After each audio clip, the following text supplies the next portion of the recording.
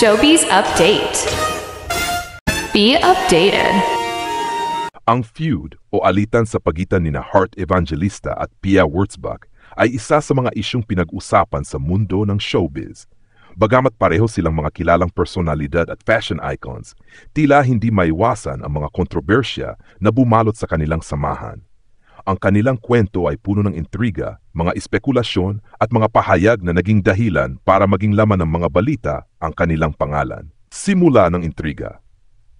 Ang pinagmulan ng tensyon sa pagitan ni na Heart Evangelista at Pia Wurtzbach ay hindi eksaktong malinaw.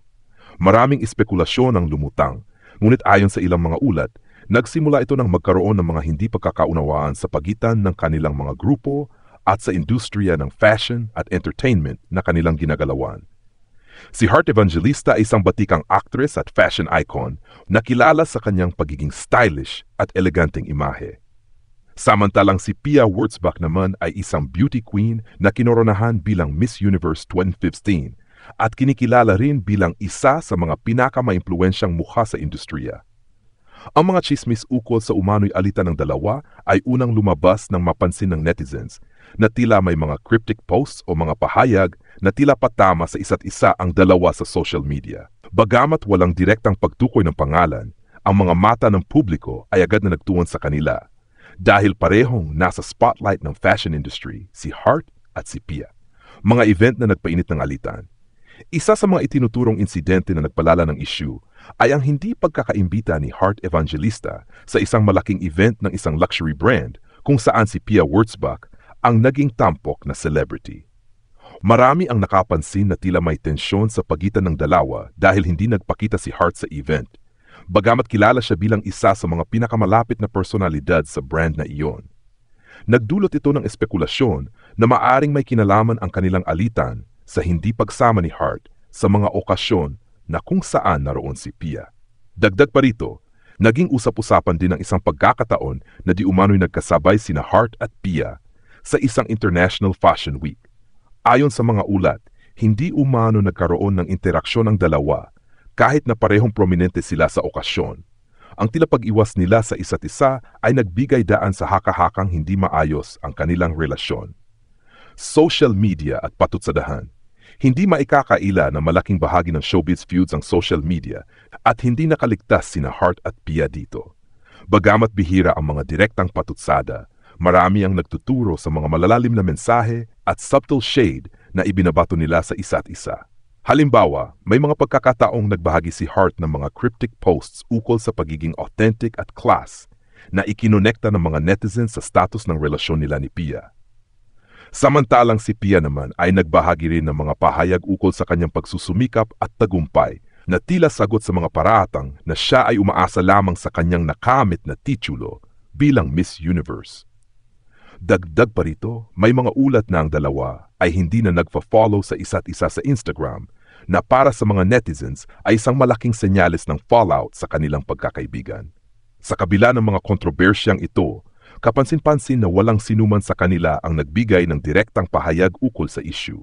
Opinyon ng publiko Dahil sa kanilang impluensya at kasikatan, nahati rin ang opinyon ng mga tao ukol sa isyung ito. Ang mga tagahanga ni Heart Evangelista ay nagtatanggol sa kanya na sinasabing si Heart ay laging nasa fashion scene bago pa man si Pia at may karapatan siyang magbigay ng opinyon sa mundo ng fashion. Sinasabi rin nila na si Heart ay isang batikang actress at mas may karanasan sa industriya. Samantala, ang mga taga-suporta naman ni Pia Wurtzbach ay maring ipinagtanggol ang beauty queen. Sinasabing si Pia ay nagsikap mula sa pagiging isang struggling artista hanggang sa pagkamit ng corona bilang Miss Universe. Ayon sa kanila, karapat dapat si Pia sa lahat ng tagumpay na kanyang tinatamasa at hindi niya kailangan magpakumbaba sa harap ng mga batikang personalidad gaya ni Hart. Pag-subside ng issue Habang lumilipas ang mga taon, tila humupa na ang mga balita ukol sa alitan ng dalawa. Pareho silang abala sa kanilang mga proyekto. Si Hart ay patuloy na nagtatagumpay sa kanyang karera bilang fashion icon at endorser habang si Pia ay nagiging aktibo naman sa kanyang mga advokasya, showbiz career, at pagpasok sa iba't ibang negosyo. Bagamat hindi malinaw kung sila ay nagkabati na o kung may natitirang tensyon, ang mahalaga ay nagpatuloy sila sa kanilang landas ng tagumpay. Konklusyon Sa kabila ng mga shismis at kontrobersya, ang alitan ni na Heart Evangelista at Pia Wurtzbach ay isa lamang patunay na ang mundo ng showbiz at fashion ay puno ng intriga.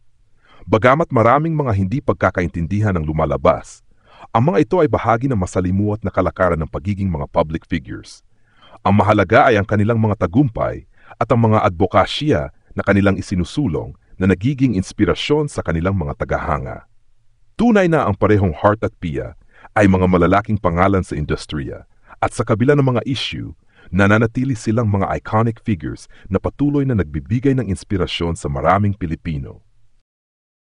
Thank you for watching. Please don't forget to subscribe, like, comment and share this video. Until next video. Subscribe now. What are you waiting for? Click the subscribe button. Hey, subscribe please. Please, please. Thanks. Bye.